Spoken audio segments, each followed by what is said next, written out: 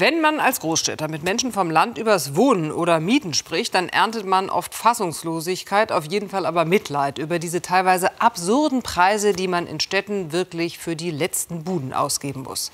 Schauen Sie mal hier. In diesem Mietshaus kann man eine Wohnung im ersten Stock mieten. Hamburg, St. Pauli. Zwar berühmt berüchtigt der Stadtteil, aber jetzt nicht unbedingt Hamburgs feinste Adresse. Ein Zimmer, 29 Quadratmeter. Was meinen Sie, was das kostet? 700 Euro kalt. Das sind 23 Euro den Quadratmeter. Das ist krass. Vor allem, wenn man weiß, dass die baugleiche Wohnung vor ein paar Jahren noch 300 Euro Miete gekostet hat. Wie kann das sein? Schließlich hat der Staat ja extra die Mietpreisbremse eingeführt. Aber wie es scheint, bremst sie nicht richtig, sondern bei trickreicher Anwendung beschleunigt sie sogar. Johannes Edelhoff und Annette Kammerer. Hamburg-Hamm, ein Stadtteil, der noch bezahlbar ist. Sehr viele Alleinerziehende wohnen hier, Menschen mit geringem Einkommen. Einfache Wohnungen für wenig Geld. So funktionierte es jahrzehntelang, auch in diesem Haus. Die Drei-Zimmer-Wohnung im dritten Stock kostete bisher 735 Euro. Doch inzwischen wurde das Haus verkauft an einen Investor.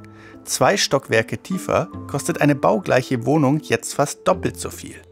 1200 Euro Kaltmiete. Immerhin, sie wurde luxussaniert. Sieht gut aus. Aber was auffällt, immer mehr einfache Wohnungen werden gerade teurer. Und wenn mal eine Wohnung günstig ist, sieht es bei Besichtigungen mittlerweile so aus. Dabei gibt es eigentlich ein Gesetz, das Mietsuchenden helfen soll, eine günstige Wohnung zu finden, die Mietpreisbremse. Sie legt eine Höchstgrenze für Neuvermietungen fest. Was klappt da nicht? Das kommerzielle Verbraucherportal Conny überprüft für Mieter, ob Vermieter die Mietpreisbremse einhalten. Das Problem, die Mietpreisbremse hat eine Ausnahme, denn wenn man eine Wohnung umfassend modernisiert, gilt die Mietpreisbremse nicht. Wir beobachten relativ deutlich, dass immer mehr Vermieter sich auf die sogenannte Modernisierungsausnahme berufen bei der Mietpreisbremse. Das bedeutet, die Mietpreisbremse gilt nicht bei einer sogenannten umfassenden Modernisierung. Und das ist eines der wenigen Gesichtspunkte, die ein Vermieter sozusagen selbst äh, steuern kann. In Hamburg etwa finden wir viele Fälle. Dieses Hochhaus aus den 70ern steht auf St. Pauli. Die Vier-Zimmer-Wohnung soll laut Mietspiegel eigentlich nur 586 Euro kosten. Doch der Vermieter verlangt 1750 Euro kalt. Oder diese Wohnung direkt an einer sechsspurigen Straße in Hamburg-Hamm. Für 60 Quadratmeter sind laut Mietspiegel 462 Euro angemessen. Doch die Wohnung kostet 1150 Euro kalt. Wir überprüfen mehr als 6000 Wohnungen alle, die bisher in diesem Jahr auf dem Hamburger Markt angeboten wurden. Viele sind zu teuer.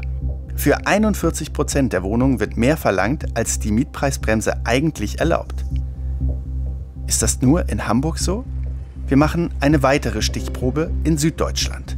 In Heidelberg am Neckar überprüfen wir ebenfalls alle Wohnungsangebote. Mehr als 260.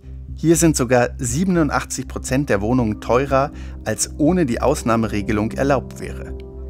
Unsere Recherchen zeigen, die Mieten steigen besonders in einfachen Vierteln. Wo das Wohnen bisher günstig war, wird saniert wie verrückt. In Berlin hat der Wohnungsforscher Christoph Trautvetter die Modernisierung systematisch ausgewertet und sieht die Entwicklung mit Sorge.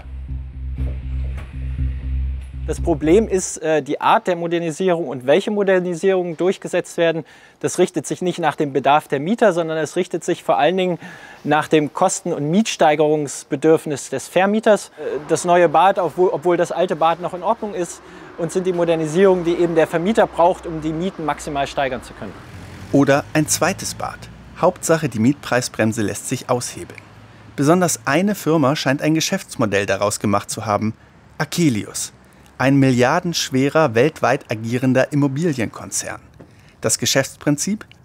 Die Firma kauft günstige Häuser und modernisiert sie dann zu Luxusobjekten. Das beobachten auch Mieter aus diesem Hochhaus in der Hamburger Siedlung Steilshoop. Bisher kein teurer Stadtteil. Kommt neue Heizung rein, die Bäder werden neu gemacht, Küche wird neu gemacht, Fußboden. Oben im zweiten Stock, die ist jetzt auch wieder neu vermietet. Die ist gleiche Größe, die wir haben. Ich meine, die kostet jetzt um die 1200 Euro. 1200 Euro. Ja. Und Sie zahlen ungefähr 600. 640 oder sowas. Akelius hat 40.000 Wohnungen in Deutschland und gibt uns ein Interview. Wir werden in ein Haus in Berlin eingeladen, auf das der Konzern offenbar stolz ist. Alles sei vom Feinsten. Das Ganze ist, äh, ich würde sagen, angelehnt an das skandinavische Design, das heißt schnörkellos, äh, modern, ähm, es äh, ist natürlich auch universell, das heißt, wir bilden das Ganze natürlich auf, auf viele Geschmäcker ab. Better Living. Ein besseres Leben, das ist das Motto von Achilleus. Das kostet 19 Euro pro Quadratmeter hier. Laut Mietpreisbremse wären 10 Euro vorgesehen. Es gibt ja Leute, die Ihnen vorwerfen, Sie umgehen mit Ihrem Prinzip gezielt die Mietpreisbremse. Das stimmt so nicht. Ähm, was Achilleus bietet, sind hochwertig modernisierte Wohnungen. Aber das Sie heißt, umgehen, also sozusagen, Sie, Sie, Sie nutzen damit ja jedes Mal die Ausnahme der Mietpreisbremse.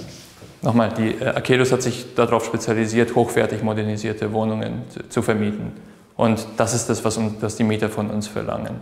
Ich gebe Ihnen vollkommen recht, dass es an bezahlbaren Wohnraum fehlt, also in, in einem Wohnraum zwischen 5 und 7 Euro pro Quadratmeter, gar keine Frage. Die Frage ist nur, wer, wer schafft diesen Wohnraum? Und das kann nicht der, der private Vermieter sein. Das muss in der Politik liegen. Klingt logisch. Für jeden wird was geboten. Problem nur, Wohnraum ist begrenzt. Umso mehr saniert wird, umso weniger bleibt für den Rest. Nicht das Problem der privaten Vermieter? Doch. Im Grundgesetz heißt es ja deshalb, Eigentum verpflichtet. Das hat auch lange funktioniert. Deutsche Städte leben ja eigentlich davon, dass sie sehr gut durchmischt sind. Und was wir jetzt gerade sehen, ist der weltweite Trend, dass eben die sozial Schwachen an die Randgebiete ver verdrängt werden, so wie in vielen anderen Städten, in Paris, in London, dann Problemzonen entstehen. Es gab 2015 eine Anzeige für dieses Haus. Da hat die Wohnung 8,90 Euro gekostet, den Quadratmeter. Jetzt sind wir bei 18, 19 Euro. Das heißt, Sie sind konkret derjenige der hier, der den bezahlbaren Wohnraum vernichtet. Das stimmt so nicht. Dieser Wohnraum ist bezahlbar. Es gibt in Deutschland Mieter, Leute, die sagen, ich möchte in einer hochwertig sanierten, modernisierten Wohnung leben, mit einem schönen Boden, mit einer schönen Küche und diese Wohnung wird nachgefragt. Aber für den Normalverdiener ist das hier alles nicht bezahlt. Ich habe größtes Verständnis für die Leute, die sich äh, nicht die Wohnung leisten können, die sie haben möchten. Allerdings hat sich Achilleus darauf spezialisiert, Wohnungen hochwertig zu modernisieren. Mag sein. Aber jede teuer modernisierte Wohnung ist eine bezahlbare weniger. Und diese Verschiebung ist schon in vollem Gange, wie die Daten bei den Mieterberatern zeigen. Wir haben das bei Conny einmal analysiert, mit äh, unserer Datenbank abgeglichen und festgestellt, dass seit der Verschärfung der Mietpreisbremse wenden deutlich mehr Vermieter die Modernisierungsausnahme an oder behaupten das zumindest. Nach unseren Daten sind es fast 100 Prozent mehr als noch vor einem Jahr. Das zuständige Bundesjustizministerium will dazu kein Interview geben, zweifelt offenbar daran, dass die Mieter die teuren Luxusmieten überhaupt bezahlen. Es schreibt, Gerade bei Inseraten mit überhöhten Mietforderungen erscheint es unsicher, ob es tatsächlich zu einem Vertragsschluss mit den angebotenen Konditionen kommt. Unsicher? Nun wurde eine neue Studie der Stadt Hamburg bekannt. Das Ergebnis? Die Mietpreisbremse sei nahezu wirkungslos führe zu teureren Wohnungen, also wohl doch ziemlich sicher.